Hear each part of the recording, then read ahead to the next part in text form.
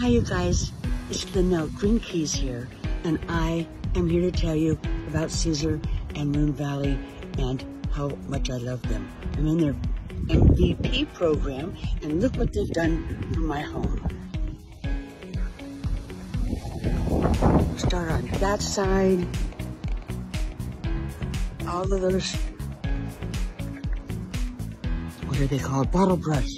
Bottle brush. Sorry to move too fast. Beautiful job planting. Beautiful job trimming, taking care of them. I love what they've done. I'm in their program so that I can have them for life. I hope this doesn't get too long. My favorite jacaranda. More bottle brush.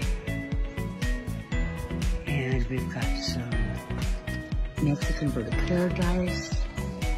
And now here.